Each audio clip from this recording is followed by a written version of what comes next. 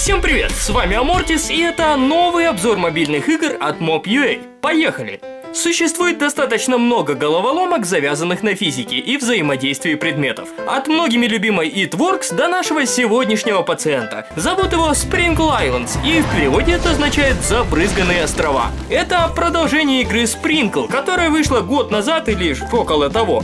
Многие говорят, играли в нее, но для меня первая часть игры прошла как-то мимо. Жанр игры, как я уже говорил, физическая головоломка, и из жанра вытекает сюжет. Как и в большинстве подобных игр, сюжет здесь прост, незамысловат и является почти незаметным дополнением к движку. А здесь, например, от нас требуется ездить на пожарной машине и тушить пожары. Но начнем с меню.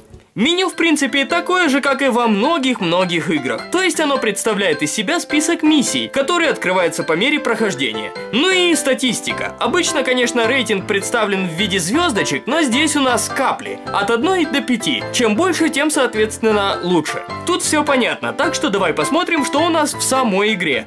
А в игре мы пожарная машинка, притом, знаешь ли, такая флинстоунская машинка, с каменными колесами и деревянной башней. Ездить ею мы не можем, она ездит сама. Останавливается у очага очередного возгорания, и вот тут в дело вступают наши с тобой пальцы. Ладно, только твои, а то как-то странно звучит. Ну, в общем, нам нужно управлять этой вот самой деревянной штукой. Пожарный рукав, кажется, так это называется. Управляем мы им просто таская его пальцем вверх-вниз по экрану. Как и положено, первые уровни элементарно просты. Нам надо просто подъехать, залить водой огонек и ехать дальше. Но вот потом уровня с восьмого начинаются проблемы. Приходится учитывать физические свойства окружения, а также нашей жидкости. Вообще, честно говоря, жидкость это не слишком-то похожа на воду, если только внешне. Но глядя, как она спокойно сдвигает немаленькие такие камни, мне на ум приходит только ртуть. Ну да ладно. Если вкратце, все происходит вот как. Нам дается какое-то определенное количество воды на весь уровень, мы едем вперед, пока не натыкаемся на очередной пожар, и после этого прицеливаемся получше. Чем дальше, тем сложнее это сделать. Ведь чтобы погасить весь огонь, нам нужно выстреливать водой так, чтобы она сдвинула какие-то препятствия, чтобы нужный камень упал в нужное место и нажал на нужный рычаг.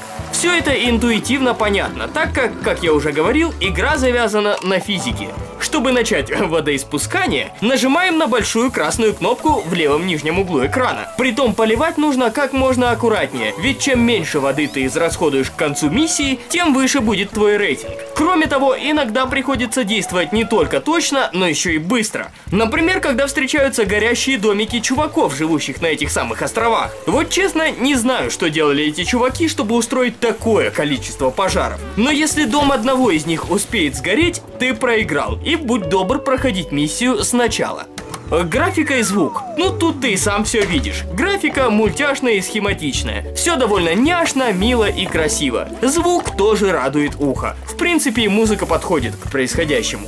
В общем, давай переходить к итогам. Обычно я говорю о плюсах и минусах игры. В этот раз я минусов просто-напросто не вижу. Единственная игра, конечно, на любителя. Не каждый любит головоломки, но если ты этот самый любитель, тебе однозначно понравится. Если же нет, то тоже скорее всего понравится. Короче говоря, скачай и погляди. Очень милая игра.